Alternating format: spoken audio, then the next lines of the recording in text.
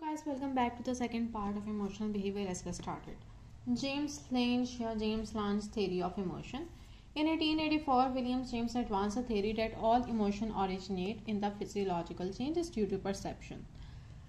1884 में William James ने अपनी थेरी को एडवांस किया था और उसने कहा था तमाम इमोशन जो हैं वो ओरिजिनेट करते हैं फिजियोलॉजिकल चेंजेस से ड्यू टू परसेप्शन परसेप्शन की बिना कार्ल लॉन्च जो है, उसने ये कहा था कि Carl Lange endorse this theory उसने इसी थोरी इसी थेरी को कहने के इंडोर्स किया, इसको अपनाया maintaining that physical arousal leads to physiological changes यानी कि जो फ़िज़िकल अराउजल है, आपके अंदर फ़िज़िकल चेंजेस जो आते हैं, वो आपको इमोशंस की तरफ़ लेके जाते हैं। क्योंकि दोनों कॉन्सेप्ट जो हैं, वो आपस में कॉमन व्यू रखते हैं, इसलिए इसको एक ही थेरी का नाम दिया जाता है, और वो है James Lange theory we generally believe that we run away out of fear हम ये बिलीव करते हैं कि हम खौफ का शिकार होते हैं, तब हम भागते हैं। हम जब हम जब सैड होते हैं, तब हम रोते हैं। हमें, जब गुस्सा आता है, तब हम एग्रेसिवली बिहेव करते हैं। विलियम जेम्स जो है, उसका ये मानना था, जो ये चीज़ें रिवर्स होती हैं। आप जब रोते हैं, तब आप सैड फील करते हैं। जब आप भागते हैं, तब आप स्केयर फील करते हैं। जब आप एंग्री होते हैं। सॉरी जब आप एग्रेशन शो करते हैं तो तब आप एंग्री हो जाते हैं।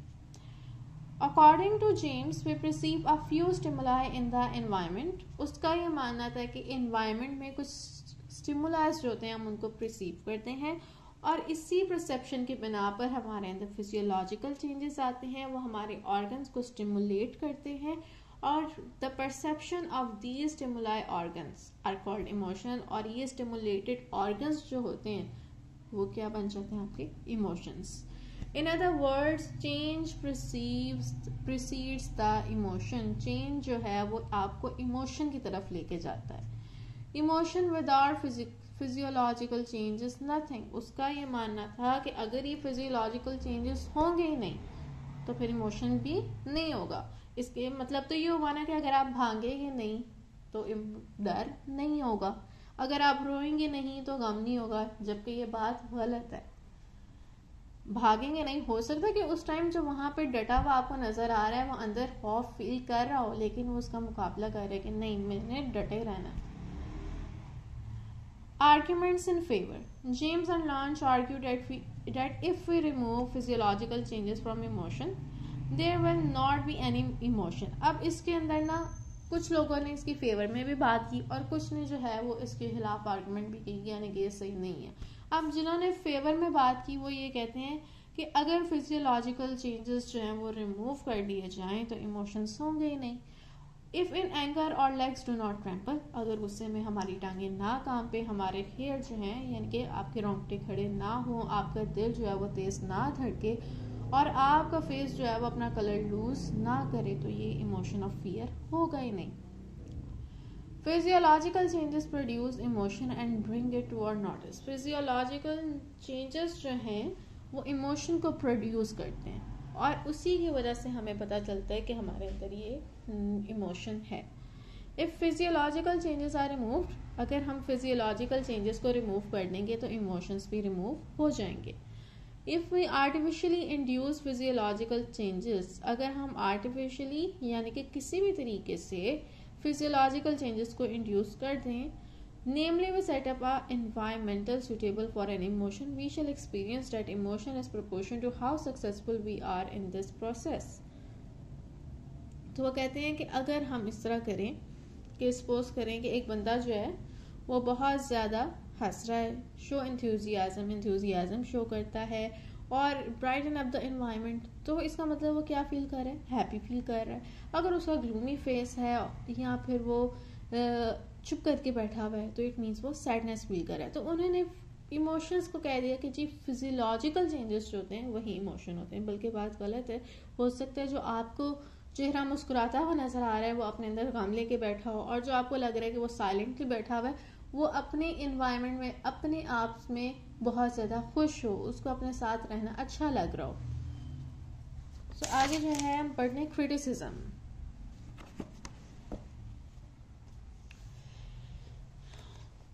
Emotion and physiological changes are definitely interrelated, but emotion is not merely a result of physiological changes. वो कहते हैं इमोशन और फिजियोलॉजिकल चेंजेस हम मानते हैं कि रिलेट करते हैं आपस में।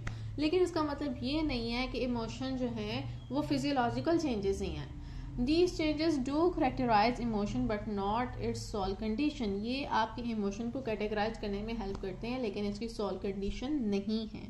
James believe that emotion with without physiological changes evaporates James का मानना था कि अगर फ़िज़िकल यानी कि फिजियोलॉजिकल चेंज नहीं होगा तो इमोशन भी नहीं होगा। क्रिटिक्स ने ऑब्जेक्ट किया कि इमोशन जो हैं, वो अनकॉन्शियस होते हैं फ़िज़िकल चेंज के nor are we aware of our award condition when stricken with grief we do not know how we are sharing tears and what we look like तो कहते हैं कि ये जो है फ़िज़िकल चेंज ज़रूर आता है, लेकिन ये जो है सोल पर्पज़ जो है वो फ़िज़िकल चेंज नहीं होता। जब आप गम में होते हैं तो आपको पता नहीं होता कि आप किस तरह आँसू बहा रहे हैं, आप किस तरह चिल्ला रहे हैं, आप कैसे लग रहे हैं। दिस इज़ टू से इसका मतलब ये है कि साइकोलॉजिकल रिएक्शन वो इतना स्ट्रांग होता है कि आपको पता ही नहीं होता कि आपके अंदर फ़िज़िकल कंडीशन उस टाइम क्या है। इमोशन जो है वो प्रोड्यूस होते हैं despite our being aware of physical state, चाहे आप अपनी फ़िज़िकल स्टेट के बारे में अवेयर हों या ना हो। आगे फिजियोलॉजिकल चेंजेस जो हैं वो इंपॉर्टेंट हैं whereas they are of no importance to the person experiencing an emotion अगर कोई और जो है वो इमोशन का शिकार है तो आपके लिए फिजियोलॉजिकल चेंजेस इंपॉर्टेंट है, क्योंकि आपको वही नज़र आ रहा है बस। लेकिन जो उस इमोशन का शिकार है, उसको नहीं पता कि उसके साथ फिजियोलॉजिकल चेंज क्या हो रहा है। इट मीन्स कि महज फिजियोलॉजिकल चेंज इमोशन नहीं है। इमोशन का पार्ट है फिजियोलॉजिकल चेंज लेकिन physiological change is not emotion this theory ignore the psychological aspect of emotion ये थेरी जो है साइकोलॉजिकल एक्सपेक्ट को साइकोलॉजिकल एस्पेक्ट को इग्नोर कर रही है। डेट होल्ड ग्रेट इंपॉर्टेंस जिसकी बहुत ज़्यादा इंपॉर्टेंस है, किसकी नज़र में, जिसके साथ इमोशन हो रहा है। James present James presents emotion as an external act James का मानना था कि ये एक एक्सटर्नल एक्ट है, ज़ाहरी एक्ट और we take it as a psychological reaction जबकि ये साइकोलॉजिकल है। Adrenaline can induce artificial physiological changes, but we cannot call it emotion. Adrenaline जो है, वो artificial physiological changes को भी induce कर सकता है, लेकिन हम उसको emotion नहीं कहते। हार्ट बीट आपकी तेज़ हो सकती है पल्स रेट जो है, वो आपका तेज़ हो सकता है। ड्यू टू अडर्नलिन अडर्नलिन की वजह से वुड बी टर्म चेंजेस इसको हम चेंजेस का नाम देंगे इमोशन का नाम नहीं देंगे। The emotional behaviour stimulated by an actor अब इमोशनल उसका तो ये माना ना कि फ़िज़िकल चेंज है। तो इमोशनल बिहेवियर जो कि एक एक्टर दिखाता है आपको, वो रोता भी है, हंसता भी है, आप देख के ऐसे लगते हैं कि वाकई वो शदीद मोहब्बत का शिकार है और मजनू है वो। तो रियलिटी में तो वो मजनू नहीं है, महज वो फिजियोलॉजिकल चेंजेस आपको दिखा रहा है, आपको जहरी तौर पे दिखा रहा है। अंदर से तो वो कुछ इस तरह का फील नहीं कर रहा। सो इट मीन्स कि जो उसकी थेरी थी वो गलत थी। इफ़ इमोशन इज़ प्रोड्यूस्ड कहाँ थी मैं? दस इमोशन ऑफ़ एंगर हाँ ये बोला if emotion is produced by physiological changes then every emotion must be accompanied by different changes अगर इमोशन जो है वो फिजियोलॉजिकल चेंजेस की वजह से है तो हर इमोशन जो है उसकी डिफरेंट चेंजेस होने चाहिए. Thus, the emotion of anger, fear, happiness and sorrow should be induced by different physiological changes. तो फिर एंगर फियर हैप्पीनेस तो इनके लिए अलग अलग जी फिजियोलॉजिकल चेंजेस होने चाहिए ताकि आप बता सकें कि फ़लाँ बंदा जो है वो हैप्पीनेस फील कर रहा है, फ़लाँ जो है वो फियर फील कर रहा है। This is however not the case लेकिन ऐसा केस नहीं है। The face and red in happiness आपका चेहरा जब आप खुश होते हैं, तब भी रेड हो जाता है एंगर में होते हैं, तब भी तब भी वो रेड हो जाता है। अगर आप एंगर में हैं हैप्पीनेस में है फियर में है, तब भी आपकी हार्ट बीट जो है वो तेज़ हो जाती है। If we agree with James अगर मान लें कि आप एग्री करते हैं भाई जेम्स के साथ तो only the perception of physical changes produce emotion तो फिर आपकी नज़र में ये सिर्फ़ ये होगा कि फ़िज़िकल चेंजेस ही इमोशन है. Then similar physical state must give rise to similar emotion तो फ़िज़िकल फिजिक यानी कि सेम जो फ़िज़िकल स्टेट है, उसके अंदर सेम इमोशन होने चाहिए. On different occasions different occasions पे भी फॉर एग्ज़ाम्पल अगर एक पर्सन है, वो एंग्री फील करता है, यानी कि उसको गुस्सा आता है अपनी बॉस की प्रेजेंस में तो फिर उसका इमोशनल बिहेवियर जो है वो डिफरेंट होना चाहिए from that he will display when he is when his anger is directed upon his subordinate तो फिर उसको सेम एंगर सेम यानी कि फ़िज़िकल चेंजेस जो है वो शो करना चाहिए जब वही एंगर उसके सबॉर्डिनेट यानी कि उसके जूनियर्स के सामने वो कर रहा हो। सेम सिचुएशन जो है वो कॉजेज डिफरेंट इमोशनल चेंजेस लेकिन ऐसा नहीं होता जब सिचुएशन चेंज हो जाती है तो इमोशनल चेंजेस भी चेंज यानी कि इमोशंस जो हैं, उसका जो फिजियोलॉजिकल रिएक्शन है या इमोशन जो हैं, वो भी चेंज हो जाते हैं। अगर एक, दो पर्सन जो हैं are passing through a jungle and one of them is a hunter अगर दो पर्सन जो है, वो जंगल में से गुजर रहे हैं, एक हंटर है और एक मेयर ट्रैवलर है both will experience different emotion both का बोथ के इमोशंस जो हैं, वो डिफरेंस होंगे जब उनके सामने एक जंगली जानवर आएगा। Emotional effect change very soon emotional effect जो है वो भी बहुत जल्दी चेंज हो जाते हैं क्योंकि वो मोमेंट्री होते हैं। हाउ एवर फिजियोलॉजिकल चेंजेस जो हैं वो वापस आ जाते हैं normality after quite a while थोड़ी देर के बाद। These changes do not disappear just as emotion fade और ये जो चेंजेस हैं वो डिसअपियर नहीं करते जैसे आपका इमोशन फेड हो जाता है। फॉर एग्ज़ाम्पल आप नर्वस फील कर सकते हैं, आप शेकी फील कर सकते हैं जब आपका फियर चला भी जाए। जेम्स से that emotion subside with the extinction of physiological changes James का मानना था कि इमोशन जो है, वो सबसाइड हो जाता है, चला जाता है फिजियोलॉजिकल चेंजेस के चले जाने के बाद। अगर आपकी एंगर जो है, वो आपने कह लो कि किसी पे नहीं निकाली और आपने उसको अपने अंदर ही रखा है तो इमोशन जो है, वो आपके इमोशन जो है, वो आपके अंदर ही रहेगा। लेकिन अगर आप किसी पे निकाल देते हैं तो वो फिर वेंट अवे हो जाएगा। But the person who has restrained anger वही बात के अगर किसी ने अपने अंदर एंगर रखी हुई है किसी ने अंदर गुस्सा रखा हुआ तो अच्छा फील नहीं करेगा। पेंट अप एंगर जो है वो आपके एक टाइम को कभी भी इरप्ट कर सकती है इंडिविजुअल जो है वो कभी भी यानी कि फट सकता है। Bank uh, sorry holding back one's anger on being rebuked by one's officer by scolding by scolding the peon or getting went on one anger at home is, is a common practice. वो कहते हैं कि आप अपनी anger को अपने अंदर दबा लेते हैं। अब वही जो है वो आप ऑफ़िस जाके किसी बंदे पे निकाल देते हैं या ऑफ़िस में आप अपने अंदर रख लेते हैं और घर आके बीवी पे निकालते हैं। फिर आगे बढ़ते हैं। Cannon also criticize theory Cannon ने भी इस थेरी को क्रिटिसाइज किया। उसने ऑब्जेक्ट किया कि एक 45 ईयर ओल्ड वुमेन है जो कि who can not feel any external or internal sensation below the neck because of a neck bone जो कि इसका एक एक्सीडेंट हो गया अब वो क्या है? अपनी गर्दन से नीचे की बॉडी को कुछ भी फील यानी कि वो कुछ भी अब फील नहीं कर सकती। Could still feel all emotion लेकिन वो अभी भी तमाम इमोशंस को फील करती है एक्सपीरियंस करती है। अकॉर्डिंग टू जेम्स लेकिन अगर हम जेम्स की थेरी देखें तो इट मीन्स उसको तो कुछ भी फील नहीं करना चाहिए उसके अंदर तो गर्डन से नीचे कोई फ़िज़िकल चेंज ही नहीं होगा तो इट मीन्स कि उसके अंदर कोई इमोशन ही नहीं है, जबकि उसके अंदर सारे इमोशन है और सारे इमोशन फील करती है।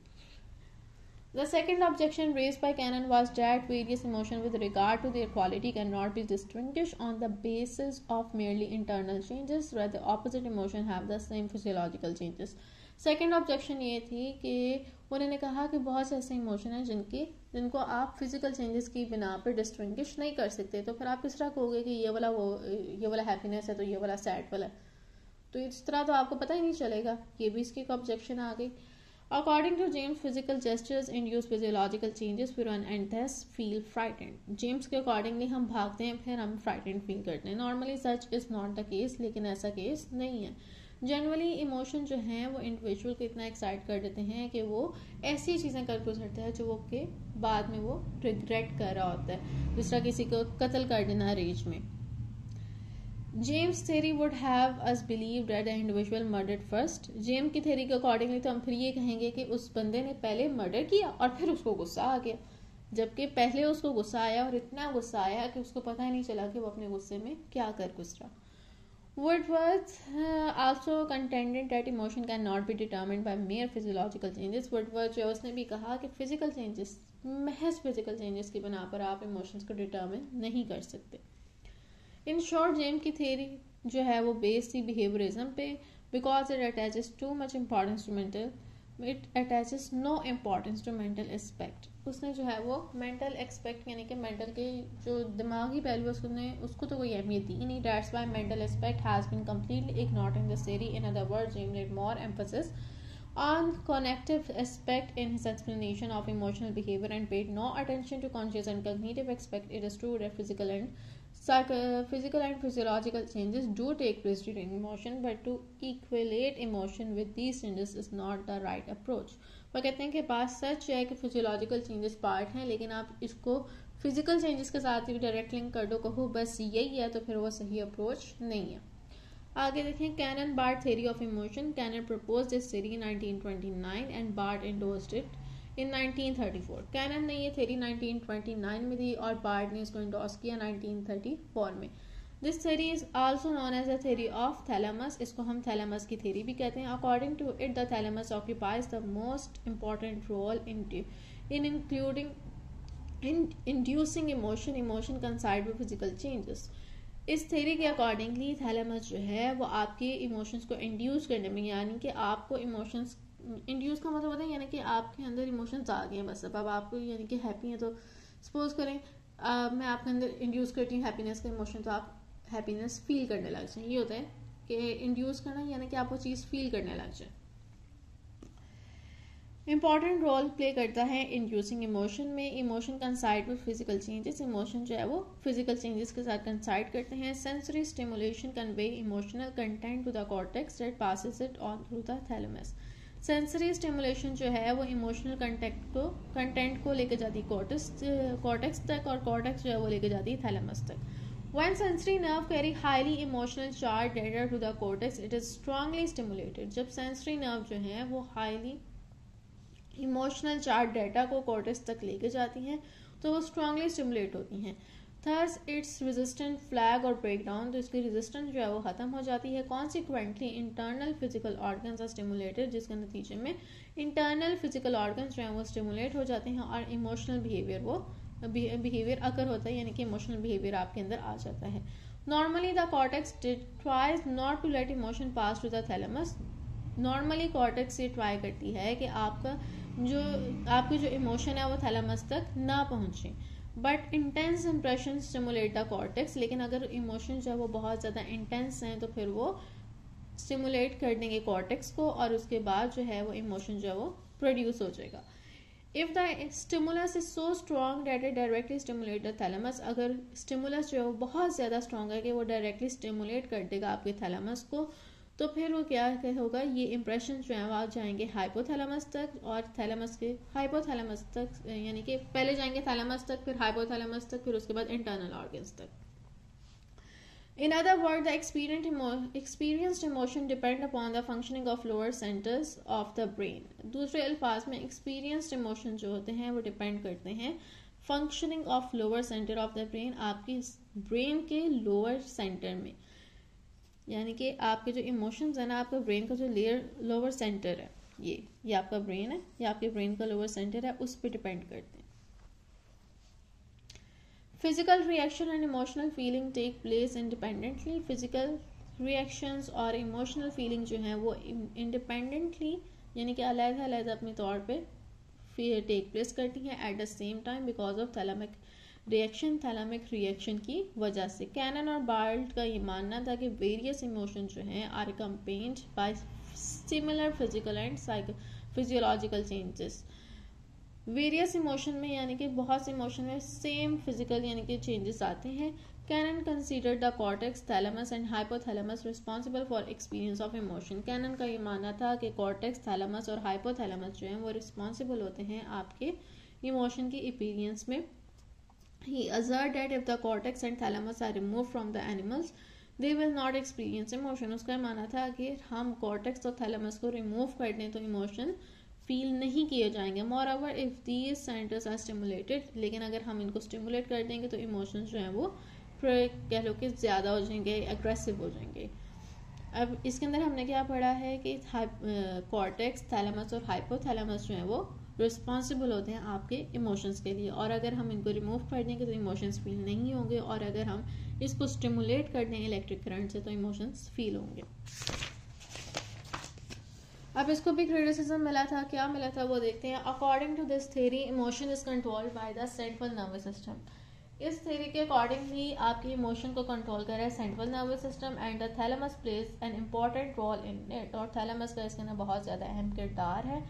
However researchers have establish researchers ने इस्टेब्लिश किया है कि thalamus is not a must for the experience of emotion कि थैलेमस जो है वो बहुत कहते हैं कि मस्ट चीज़ नहीं है, लाजमा मलजूम नहीं है। आपके इमोशंस की अपीरियंस के इमोशन के इजहार के लिए। The higher animal that have the backbone and spinal cord possess the autonomic nervous system and show a few emotion higher animal जिनकी बैकबोन हो स्पाइनल कोड हो, वो फ्यू इमोशंस को शो करते हैं। Animal that do not have the backbone or cortex display behaviour similar to the emotion of rage वो कहते हैं कि वो एनिमल जिनकी कॉर्टेक्स है ही नहीं। वो emotions एंगर का जो इमोशन है, उसको बहुत अच्छी तरह शो करते हैं। तो यहाँ पे तो उन्होंने कहा था कि कॉर्टेक्स जो है थैलेमस और हाइपोथैलेमस उस, उसी की वजह से आपके अंदर इमोशन होते हैं। लेकिन अब हम एनिमल्स देख रहे हैं जिनके अंदर कॉर्टेक्स है ही नहीं, लेकिन फिर भी वो एंगर का इमोशन शो कर रहे हैं। तो इट मीन्स कि उसकी बात गलत थी। Cannon and Bard believe that the cortex hampers the thalamus because of which the expression of an emotional state becomes either weak or extinct Cannon और बार्ड का ये मानना था कि कॉर्टेक्स जो है वो हैम्पर करती है थैलेमस को, जिसकी वजह से expression of an emotional state जो है वो वीकर हो जाती है, जबकि ये बात सही सही नहीं है। रिसर्चर्स ने ये प्रूव किया है कि कॉर्टेक्स जो है वो वो भी स्टिमुलेशन ही कॉज कर रही होती है। The hypothalamus plays a major role in arousing emotion hypothalamus जो है वो इमोशंस को अराउज करने में एक अहम किरदार अदा करती है। इसके अलावा the higher powers of the brain also regulate emotional behaviour आपकी जो ब्रेन की हायर पावर्स हैं, वो भी आपके इमोशनल बिहेवियर को रेगुलेट करने में हेल्प करती हैं। आगे role of learning and environment in emotion okay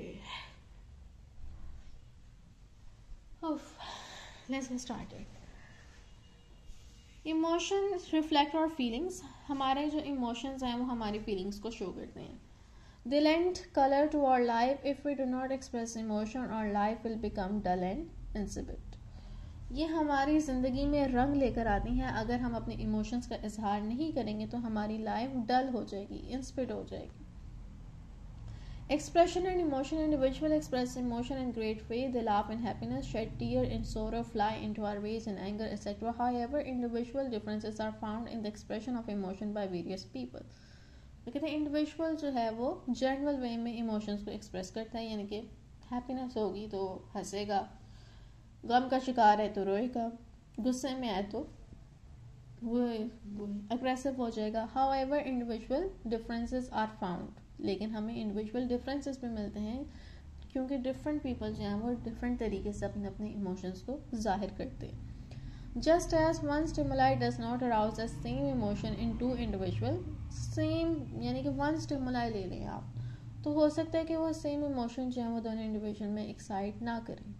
Similarly various individual express the same emotion in a different way और बिल्कुल उसी तरह के बिल्कुल सेम इमोशन को डिफरेंट लोग डिफरेंट तरीके से ज़ाहिर करते हैं। You must have not different different students who have append the same marks react differently stimuli ले लेंगे जी, दो बच्चे हैं, उनके सेम मार्क्स आए तो डिफरेंट स्टूडेंट जो हैं, वो डिफरेंटली रिएक्ट करेंगे, उनके इमोशंस जो हैं, वो डिफरेंट होंगे। और अगर सेम भी इमोशन होंगे तो वो हो सकता है कि उस इमोशन को ही वो डिफरेंटली शो करें। The way the student who have pass और failed expresses their feeling is not the same वो स्टूडेंट जो कि पास हो गया और जो फेल हो गया, हो सकता है वो अपनी फीलिंग्स को सेम तरीके से शो ही ना करें। Why is it so after all तो ये ऐसा क्यों है कि हम लोगों में अगर इमोशन सेम भी है, तब भी हम डिफरेंटली शो कर रहे हैं? There is no hard and fast rule और formula about how emotion should be express कोई फार्मूला नहीं है कि ऐसे इमोशंस जो होने चाहिए। इंडिविजुअल की पर्सनालिटी उसकी सोशल इन्वायरमेंट जो है, वो इसके अंदर बहुत ज़्यादा अहम किरदार अदा करती है। कि आपकी पर्सनालिटी क्या है, आप कैसे पले भरने हैं तो आप पे डिपेंड करता है कि सारी चीज़ें किस तरह की आपके अंदर तो फिर आप उसी के अकॉर्डिंगली अपने इमोशंस को शो करेंगे। It is understandable that a individual because of individual difference may show or different emotional response in the same situation ये अंडरस्टैंडेबल है कि एक person because of individual difference individuals में फ़र्क की बिना पर शो करे डिफरेंट इमोशनल रिस्पॉन्स को सेम सिचुएशन में। However, it is also worth thinking about why the individual himself does not display the same response on different occasions. लेकिन ये भी सोचने वाली बात है क्यों? सेम इमोशन है सेम इक्वेशन है लेकिन रिस्पॉन्स क्यों डिफरेंट है? Sometime he loses temper over a trifle and sometime laugh away even the bravest setback बाज़ अवत एक छोटी सी बात पे हमें इतना ज़्यादा गुस्सा आ जाता है और बाज़ अवत बड़ी से कोई बड़ी बात हो जाती है और हम उसको जाने देते हैं। ऐसा क्यों है? तो जो फैक्टर्स इसमें आते हैं, वो अब वो बता रहे हैं कि वो कौन कौन से हैं। एक है सब्जेक्टिव फैक्टर जिसके अंदर आपकी मोटिवेशन होती है, आपका इंटरेस्ट होता है, आपकी पर्सनालिटी ट्रेट्स के बारे में ज़िक्र किया जाता है, आपकी मेंटल स्टेट के बारे में ज़िक्र किया जाता है, आपकी नॉलेज कितनी आपके अंदर कितना टैलेंट है, आपके अंदर एक्सपीरियंस कितना है, आपका ऑक्यूपेशन क्या है। ये सारे फैक्टर्स जो हैं, वो आपके बताते हैं कि बंदा जो है, वो यानी कि किस तरह जो है, वो रिएक्ट करेगा। These affect also affect the individuals attention and perception और यही फैक्टर्स जो हैं वो आपकी अटेंशन में और आपकी सोचने के अंदाज में भी शामिल है।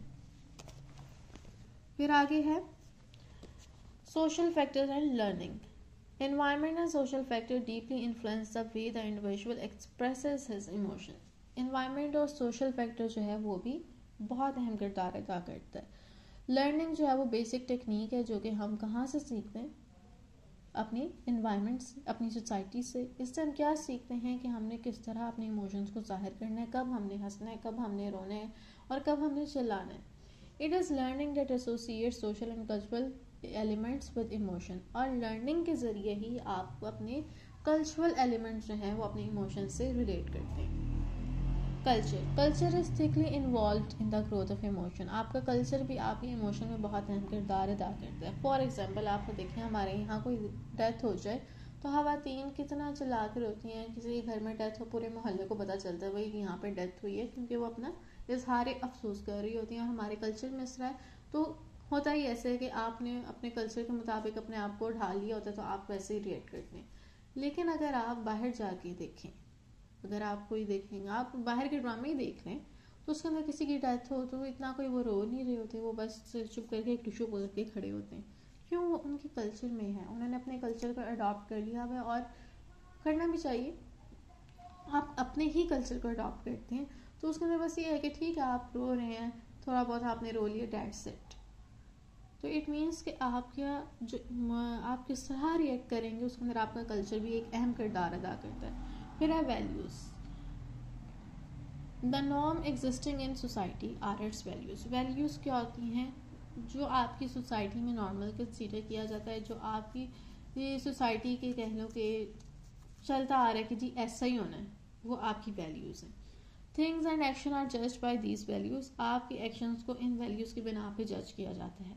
और इंडिविजुअल जो है, वो अपनी लाइफ में इन वैल्यूज़ को सीखता चला जाता है और फिर इनको अपने बिहेवियर में अडॉप्ट करता जाता है। और अपने इमोशंस को भी इसी के अकॉर्डिंगली वो ज़ाहिर करता है। फिर आगे आते हैं बिलीव्स बिलीव्स यानी कि आपके अकायद क्या हैं। Believe refer to a state that is based on faith and conviction that a person possessive systematically and permanently ये सिस्टमैटिकली और परमानेंटली आप पोजेस करते हैं और किस वजह से? आपका जो फेथ है उसकी बिना पर। It is a mild state of emotion ये माइल्डेस्ट स्टेट है आपकी इमोशन की, जिसके अंदर जो कि पर्सन में हमेशा होती हैं। Argument have no role in believe believe में कोई आर्ग्यूमेंट की जगह नहीं होती। ऐसे नहीं है, वैसे नहीं है, बस बिलीव में होता है कि जो आप मानते हो, बस वही मानते हो। आप अल्लाह में मानते हो, आपको अल्लाह पे यकीन है। आपको फेथ है कि रसूल पाक सल्लल्लाहु अलैहि वसल्लम उसके आखिरी नबी हैं। तो फिर उसके अंदर कोई आर्ग्यूमेंट है ही नहीं। आप मुसलमान हो, आपने बस मान लिया। ये आपका बिलीफ है और आपके इमोशंस में बिलीव्स भी आपका बहुत ज़्यादा अहम किरदार अदा करते हैं। मोर और less same is the case with other emotion more और लेस दूसरे मज़ाहब में भी। यही है कि उनका जो उनका जो अकीदा है, उसकी बिना पर उनके इमोशंस जो हैं वो लिंक होंगे। फिर आगे रिचुअल्स रिचुअल्स यानी कि कह लो कि रसूमात वगैरह। Represent the social norm conformity to which is appreciated in a society ritual से पता चलता है आपके एक सोसाइटी में क्या जो है वो अप्रिशिएट किया जाता है और क्या जो है वो बुरा माना जाता है। और आपके इमोशन जो है वो इन्हीं रिचुअल्स के साथ बाउंड होते हैं। यानी कि जिस तरह मैंने वो मौत वाली आपने एग्ज़ाम्पल दी थी, यही वही जो एग्ज़ाम्पल है वो यहाँ पे भी है। फिर आगे folkways folkways and mores the custom that are specific to an area और the ritual that are obligatory for a particular social group is called folkways और मोर्स किसी खास एरिए की जो कहने की कि रसूमात हैं, वो आती हैं फोक फेस में। Having regard for the sanctuary of worship और eating place being clean ceremony इसके अंदर जो है डिफरेंट यानी कि कहने के रसूमात वगैरह होती हैं और वो जो है, वही आपकी इमोशंस के साथ लिंक भी होती हैं। ये कस्टम वैल्यूज़ और कह लेंगे बिलीव जो हैं, वो आपके कल्चर को कह लो कि बहुत, आपके कल्चर को डिटर्मिन करते हैं। He can lead he can lead a civilize in peaceful life within the bounds of this norm और आप एक सिविलाइज और एक पीसफुल लाइफ इन नॉर्म्स के अकॉर्डिंगली गुजार सकते हो, इस पर अमल करके। The way are civilize person express emotion reflect all these forms of behaviour एक सिविलाइज पर्सन जो है, अपने इन इमोशंस को जब वो रिफ्लेक्ट करता है तो वो फिर उसके बिहेवियर के साथ लिंक होते हैं। फिर आगे देखते हैं। Cultural differences a comparison to one of one society with other societies bring about cultural differences every society and nation has its own culture we can clearly observe cultural differences by comparing Pakistani, Indian, and British societies. The individual keep in view his culture while expressing his emotion on various occasions of sorrow and happiness. Cultural difference में होता है कि आपका culture जो है उसके accordingly आपके emotion होते हैं आप अपने इमोशन को अपने कल्चर के कल्चर को मद्देनज़र रख के ही ज़ाहिर करते हो फिर आ जाता है रिलीजन रिलीजन का बहुत ज़्यादा डीप इफ़ेक्ट होता है आपके इमोशंस में आप अपने रिलीजन जो है ना वे ऑफ़ लाइफ है तो आपका जो ज़िंदगी गुजारने का तरीका होगा ऑब्वियसली वो आपकी इमोशन में बहुत अहम किरदार अदा करेगा। Christianity and Hindu religion have far reaching influences on their followers the individual has to adapt his behaviour to his culture and social norm and he express his emotion according to this mould वो अपने मज़हब के accordingly अपने behaviour को adopt adopt करता है और उसी के मुताबिक उसके कल्चर के मुताबिक उसकी रवायात के मुताबिक उस मज़हब के रूल्स के अकॉर्डिंगली उसका बिहेवियर होता है और जब उसका बिहेवियर उसके अकॉर्डिंगली होता है तो उसके इमोशंस भी उसी के मुताबिक होते हैं। How to develop life skills इसको बस जल्दी से रीड कर लेते हैं इतना इम्पोर्टेंट नहीं है। सॉरी oh, और फिर उसके बाद है डिफेंस मैकेनिज्म और फिर उसके बाद ये ख़त्म। Emotions give color and excitement to our life. Emotion can be two types, pleasant and unpleasant, or whatever type emotion may be. They undoubtedly influence our life greatly. Emotion दो तरह के होते हैं प्लेजेंट और अनप्लेजेंट और दोनों ही emotions हमारी life में बहुत ज़्यादा इंपॉर्टेंट हैं expressing emotion according to our situation is a sign of health अगर आप सिचुएशन के अकॉर्डिंगली अपने इमोशन को ज़ाहिर कर तो ये क्या है हेल्थ की निशानी है लेकिन अगर आप रिप्रेस कर और आप अपने इमोशंस को दबा के रखते हैं तो ये अनवाइज अप्रोच है। इंडिविजुअल जो है, अपने इमोशंस को अगर एक्सप्रेस ना करे या फिर उसको अपॉर्चुनिटी ना दी जाए कि वो अपने इमोशन को एक्सप्रेस कर सके तो वो डिप्रेशन का शिकार हो जाता है या टेंशन का शिकार हो जाता है। The effort that individual makes to deal with this pressure और इस प्रेशर को, इस प्रेशर से डील करने के लिए इंडिविजुअल जो भी मेथड अपनाता है, उसको हम कहते हैं कॉपिंग इंडिविजुअल डायरेक्टली और इनडायरेक्टली इन मेथड्स को इन स्किल्स को सीखता है to tackle such problems Lazarus और फोकमैन जो है, उन्होंने दो टेक्निक जो है वो कॉपिंग की, हमें बताई हैं। एक है प्रॉब्लम फोकस्ड और एक है इमोशनल फोकस्ड पहले ये है कि इंडिविजुअल जो है वो ट्राई करता है अपनी प्रॉब्लम को अंडरस्टैंड करने की और कोशिश करता है उसको अवॉइड करने की और उस सिचुएशन को चेंज करने की। ये है प्रॉब्लम फोकस्ड दूसरे में यह है कि इंडिविजुअल जो है वो कोई एफर्ट नहीं करता अपनी सिचुएशन को चेंज करने की, बल्कि tries to relieve an anxiety due to a problem बल्कि वो इस एनजाइटी से रिलीफ हासिल करने की कोशिश करता है। इसको कहते हैं इमोशन फोकस्ड कॉपिंग हर इंडिविजुअल जो है वो दोनों टेक्निक से अपनी लाइफ में यूज़ करता है। और ये स्किल जो है वो इंडिविजुअल को यानी कि अपनी लाइफ गुजारने में बहुत ज़्यादा हेल्प करते हैं। Here here is an example to view this point और आगे वो एग्ज़ाम्पल दे रहे हैं कि अगर आपको बताया जाए कि क्लोजिंग डेट जो है वो एडमिशन की एनुअल एग्जामिनेशन की पास हो चुकी है और इंडिविजुअल और एडमिशन जो है वो आपका विद हेल्ड कर लिया जाएगा, रोक लिया जाएगा this situation will obviously cause you much worry and tension और अगर आपने वो कहने की फ़ीस जो है वो जमा नहीं कर पाई तो फिर क्या होगा? आपको टेंशन होगी। Maybe on getting this information आपको ये इन्फॉर्मेशन मिल गया तो आप कॉलेज ऑफ़िस जाएँगे और आप जो है वो अपनी सिचुएशन को चेंज करने की कोशिश करेंगे और रीज़न uh, पूछेंगे और ब्ला ब्ला ब्ला यानी कि आप जो है उसको सॉल्व करने की कोशिश करेंगे। और आपको जब पता चले कि आप जो है वो लेट सेंड कर दे कर सकते हैं तो आप जो है उस ऑप्शन को ट्राई कर लेंगे। अगर ये ऑप्शन अवेलेबल नहीं है सपोज़ करें आपका काम नहीं बना तो आप क्या कोशिश करेंगे? You may arrange to send admission for supplementary exam तो आप कोशिश करेंगे कि आप सप्लीमेंट्री एग्ज़ाम दें। और ये जो है वो प्रॉब्लम सॉल्व यानी कि प्रॉब्लम फोकस्ड है कि आप अपनी प्रॉब्लम के ऊपर फोकस कर रहे हैं। आप कह रहे हैं कि मैं इस सिचुएशन को किसी तरह चेंज कर लूँ। फिर आगे है कि अगर if you make the situation a matter of honour अगर आप जो कि नहीं जी, मैं क्यों जाऊँ? मैं क्यों बात करूँ? मेरी तो कोई गलती नहीं है।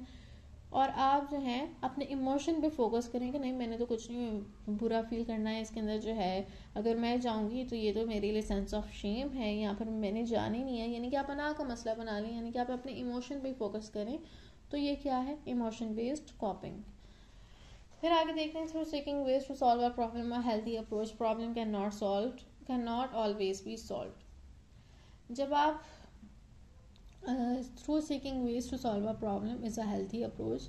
वो कहते हैं कि अगर आप प्रॉब्लम को सॉल्व करने की कोशिश करें हेल्दी अप्रोच है, लेकिन ये हमेशा जो है वो आपकी प्रॉब्लम को सॉल्व नहीं कर सकती। समटाइम्स जब वो प्रॉब्लम इस तरह की होती है कि उसके अंदर इमोशनल अप्रोच है आपके लिए बेहतर रहती है। फॉर एग्ज़ाम्पल अगर एक इंडिविजुअल है, उसको इनक्योरेबल डिसीज़ हो गई है, जिसका कोई इलाज ही नहीं है, और अब उसका कह लो कि मौत ही है उसके लिए तो अगर वो फिर भी जो है वो कोशिश करे जी मैं प्रॉब्लम पे फोकस करता रहे। तो कुछ भी रिज़ल्ट उसको नहीं मिलने वाला। तो बेहतर यही है कि वो इमोशन फोकस्ड अप्रोच ले और अपने इमोशंस के ऊपर काबू पाने की कोशिश करे या इमोशंस को हैंडल करे। According to Lazarus and Folkman when it is clear that a situation can be change problem focus coping effect coping proves effective अगर आपको पता चल जाए कि सिचुएशन जो है वो चेंज हो सकती है तो फिर ऑब्वियसली आप प्रॉब्लम फोकस कॉपिंग में जाएँगे और यही आपके लिए इफ़ेक्टिव होगी।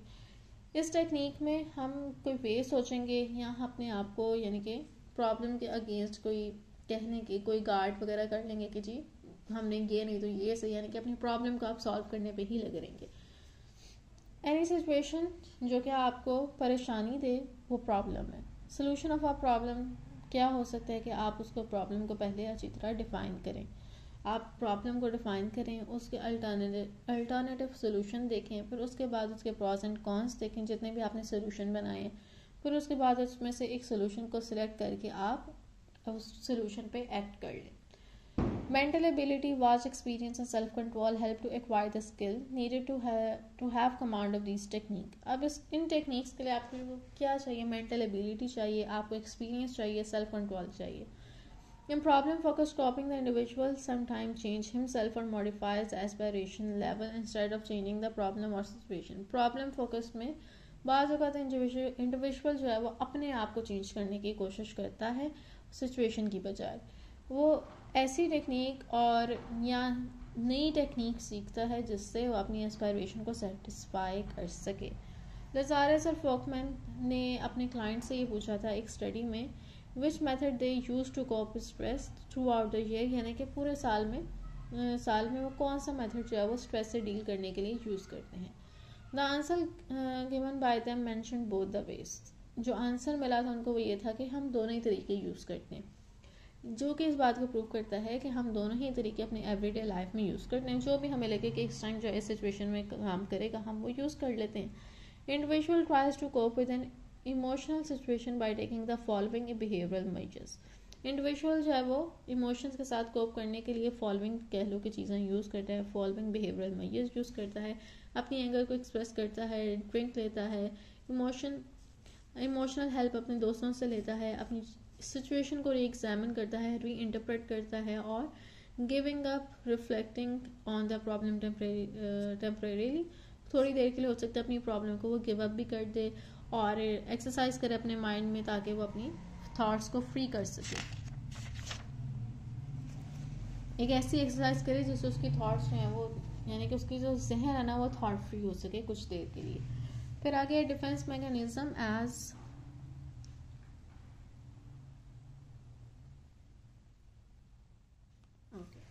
Defense mechanism as emotion focused method.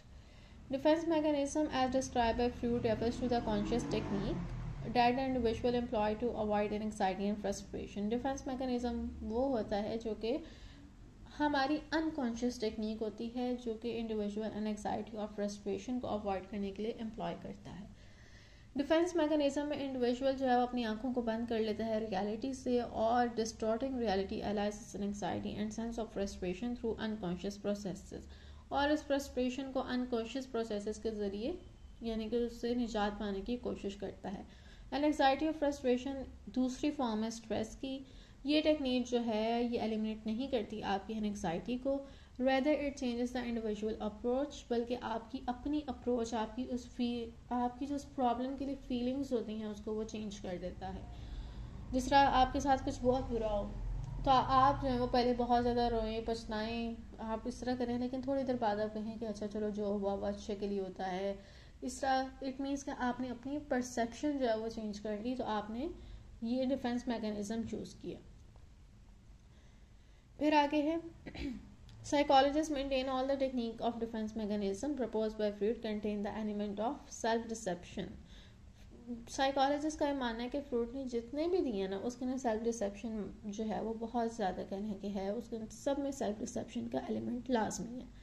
Projectional projection reactionalization repression reaction formation formation, denial and many other methods are included in defence mechanism defence mechanism में आपकी प्रोजेक्शन आ सकती है, आप अपनी चीज़ों को रैशनलाइज करने की कोशिश करते हैं रिप्रेशन होती है बाद का रिएक्शन भी होता है और डिनाइल भी होता है डिस्प्लेसमेंट भी होती है यानी कि सारी चीज़ें जो हैं वो डिफेंस मैकेनिज्म में शामिल हैं A little uh, reflection will make it clear that we all draw upon these mechanism for immediate and temporary relief tension. हम सब जो है ये सारे मेथड जो हैं वो यूज़ करते हैं एंगजाइटी से बचने के लिए हमें ये चाहिए भी हैं to recover from a shock however having recovered from the shock जब आप रिकवर कर लें तो फिर आपको कैरी hmm, आउट करने की ज़रूरत है इंटेलेक्चुअल और कग्निटिव एनालिसिस अपनी सिचुएशन का। क्लिनिकल साइकोलॉजिस्ट जो है उनका यह मानना है कि इंडिविजुअल जो है वो मेल एडजस्टमेंट का शिकार हो जाता है। इफ़ ही एम्प्लॉयज़ अगर वो इन सिचुए यानी कि इस टेक्निक का डिफेंस मैकेनिज्म का बहुत ज़्यादा इस्तेमाल करें। Personality and skill skills learn in life are use on various occasion जितने भी स्किल्स आप सीखते हैं, वो आपकी लाइफ में बहुत ज़्यादा यूज़ होते हैं। हर पर्सन जो है, वो स्किल्स सीखता है, अपनी पर्सनैलिटी के अकॉर्डिंगली और फिर उसको सिचुएशन में अप्लाई करता है। Psychologist have it as great importance to personality traits why it's studying stress psychologist ने जब स्ट्रेस को स्टडी किया एंगजाइटी को स्टडी किया तो उन्होंने उसके अंदर पर्सनैलिटी ट्रेड्स जो हैं, आपकी पर्सनैलिटी की खूबियाँ जो हैं, उसको बहुत ज़्यादा इंपॉर्टेंस दी है। रोजनमैन 1974 में उसने दो पर्सनालिटी ट्रेड्स बताए टाइप ए और टाइप बी टाइप ए जो है, वो हॉस्टाइल होते हैं इम्पेशेंट होते हैं एम्बिशियस होते हैं और हार्ड ड्राइविंग होते हैं। टाइप बी जो है, वो रिलैक्सड होते हैं और ईजी गोइंग होते हैं। साइकोलॉजिस्ट का यह मानना है कि टाइप बी जो है, वो बहुत ज़्यादा लाइएबल होते हैं स्ट्रेस में, यानी कि वो स्ट्रेस जो है, वो हैंडल नहीं कर पाते। और टाइप बी जो है, वो स्ट्रेस में सफ़र नहीं कर कहते हैं, ठीक है स्ट्रेस ना रहने दो, कुछ नहीं होता। Hence the individual should cultivate type B traits तो इंडिविजुअल को जो है टाइप बी ट्रेड्स जो है वो रखने चाहिए। 1975 में कोबासा जो है, उसने कैरिड आउट की एक लंबी स्टडी इफ़ेक्ट ऑफ़ स्ट्रेस में। It was title stress life event personality and health जिसका नाम था stress life events personality and health इस रिसर्च में उसने क्या किया था? Maddi and Kahn in nineteen अच्छा जी, इसके अंदर जो है वो मैडी और कॉन भी 1982 में शामिल हो गए। और फिर इन तीनों बंदों ने जो है क्वालिटीज़ जो हैं वो उन पीपल की देखी जो कि इफ़ेक्टिवली स्ट्रेस से कोप करते हैं। उनका ये मानना था कि individual possessed of the following जो कि स्ट्रेस से अच्छी तरह कोप कर लेते हैं यानी कि जो स्ट्रेस से जानते हैं ना लड़ना कि किस तरह इसको हैंडल करना है, उनमें ये ये खूबियाँ होती हैं। एक होता है कमिटमेंट ये जो है पीपल अपने वर्क के लिए डिवोट होते हैं। बहुत शौक से अपना काम करते हैं, लगन के साथ करते हैं। और वो they acquit themselves successfully and social relations और सोशल रिलेशंस में वो बहुत सक्सेसफुल होते हैं। Acquit themselves successfully in social relation they manage to win social support इनके पास सोशल सपोर्ट भी होता है और इनको हेल्प करता है टेंशन से डील करने में। दूसरी इसके अंदर, उनके अंदर खूबी क्या होती है? कंट्रोल ऐसे इंडिविजुअल जो हैं वो रिसोर्सफुल होते हैं सेल्फ कंट्रोल होते हैं और consequently they have a greater ability to evaluate stressful situation और वह स्ट्रेसफुल सिचुएशन जो हैं, उसको भी इवेल्यूएट कर लेते हैं। ऐसे लोग जो हैं, वो आप कह लो कि सिचुएशन को अंडर कंट्रोल रखना अच्छी तरह जानते हैं और वो हेल्पलेस फील नहीं करते। जो भी हो, वो कहेंगे कि हम कंट्रोल कर लेंगे, हम देख लेंगे। फिर है चैलेंज ऐसे लोग जो हैं, वो कग्निटिव अप्रेजल ऑफ़ सर्कमस्टांसिस जो है, वो बहुत इजीली कैरी आउट कर लेते हैं। ऐसे इंडिविजुअल जो है, उनकी, कह लो कि चेंज है ना, उनकी लाइफ का बहुत अहम हिस्सा होता है। वो चेंज से घबराते नहीं हैं। वो चेंज जो है ना, कह लो कि उनको चेंज जो है ना, एक बहुत अच्छा लगता है कि ज़िंदगी में चेंज आ रहा है, उनके लिए एक खुशी की बात होती है। Taking it as a flip of growth और वो ये सोचते हैं कि अगर चेंज आ रहा है तो हमारी ज़िंदगी में वो ग्रोथ और डेवलपमेंट लेकर आएगा। अब अबव मेंशन ये जो तीन क्वालिटीज़ हैं, ये आपको हेल्प करती हैं स्ट्रेस से डील करने में। अगर आप में तीनों क्वालिटीज़ हैं, अगर आपके अंदर कमिटमेंट है, अगर आपके अंदर सेल्फ कंट्रोल है, और अगर आपके अंदर ऐसी, अगर कोई आपके सामने चैलेंज आया तो आप उससे एक्साइट हो रहे हैं। अगर कोई चेंज आया तो आप उससे एक्साइट हो रहे हैं। तो it means you deal well with stress आगे है मैनर्स एंड स्किल हमारे मैनर्स जो हैं, उसको भी हमारे स्किल्स में इंक्लूड किया जाता है, जो कि हमें हेल्प करते हैं स्ट्रेस को अवॉइड करने में। फैक्टर्स ऑफ़ सोशलाइजेशन जिस तरह आपके पेरेंट्स हो गए पीयर्स हो गए टीचर हो गया मैथ मीडिया हो गया, ये आपको ये चीज़ें जो हैं वो सिखाते हैं। वी लर्न फ्रॉम दैम हम उनसे सीखते हैं कि हमने कन्वर्सेशन को किस तरह स्टार्ट करना है। हमने अपने, अगर किसी से कोई ओपिनियन आपका डिफरेंट है तो आपने उसको किस तरह एक्सप्रेस करना है? आप अपने राइट्स को किस तरह सिक्योर करेंगे? One to counter counter track counteract criticism befittingly कब आपने अगर किसी ने आपको क्रिटिसाइज़ किया तो आपने किस तरह उसका अच्छे अंदाज में जवाब देना? आपने किस तरह एक सिचुएशन को, एक क्वेश्चन को जज करना है फॉर एक्सप्रेसिंग और डिसटिमुलेटिंग और लाइक्स एंड डिसलाइक अपनी लाइक और डिसलाइक के हिसाब से, अपनी लव और हेट के हिसाब से आपने किस तरह एक सिचुएशन को हैंडल करना है? और ये सब कुछ जो है fostering the courage to tolerate refusal और ये सम लर्निंग आल्सो इंक्लूड इसके अंदर आपको ये भी सिखाया जाता है कि आपने किस तरह रिफ्यूज़ल को टॉलरेट करना है, आपने किस तरह सेल्फ कंट्रोल अपने ऊपर रखना है और आपने किस तरह अगर आप फेलियर का शिकार हो गए तो आपने उसके अंदर कह लो कि उसको अच्छी तरह लेना है उसको नेगेटिविटी में नहीं लेना। और अपने राइवल को आपने किस तरह कॉन्ग्रेचुलेट करना है, आपने किस तरह अवॉइड करना है, दूसरों के इनकरिंग अदर्स डिस्प्ले यानी कि दूसरों को नुकसान पहुँचाने से, उनको कह लो कि परेशान करने से। अर्निंग पॉपुलैरिटी किस तरह आपने पॉपुलैरिटी अर्न करनी है और उसके अलावा आपने राइवलरी और जेलस लोगों से किस तरह आपने सामना करना है। If all these practicals practice are adopted with decorum these are called social skills और अगर आप इसको एहसन अंदाज से सीख लें तो हम इसको कहते हैं social skills otherwise one will be guilty of indecency and impropriety and will inevitably land and problems and worries और अगर सपोज़ करें, आपकी इन सारी चीज़ों में हारमोनी नहीं है, आप इसको सही तरह नहीं सीखते तो आपकी लाइफ में क्या होगी? इनडिसेंसी इम्प्रॉप्रिएटी यानी कि इम्प्रॉपर वे होगा एक तो आपको एक इसकी तरफ़ लेकर जाएगा? प्रॉब्लम्स और वरीज की तरफ़। और फिर उसके अंदर आपको एक काउंसलर की ज़रूरत होगी जो आपको सोशल स्किल्स सिखा सके। एंड यहाँ भी चैप्टर जो है वो ख़त्म हो गया एंड आई होप कि मैंने आपकी हेल्प की और आपको समझ आया और अगर आया है तो अपने फ्रेंड्स के साथ शेयर करें ताकि उनको भी समझ आ जाए, उनका भी ऊपर अच्छा हो जाए। और दुआ में याद रखिएगा, अल्लाह हाफिज़।